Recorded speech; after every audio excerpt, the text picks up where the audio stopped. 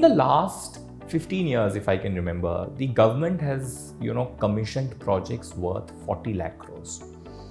20 lakh crores is under execution as of now, already for the next two to three years. Hmm. And the government has a target to commission 120 lakh crores, 120 lakh crores, Niraj, in the next five to seven years. That is the stated government policy. Sure. So you can understand the opportunity. 120 lakh crores will require 40 lakh crores of equity capital. Sure. That is what investors can participate in.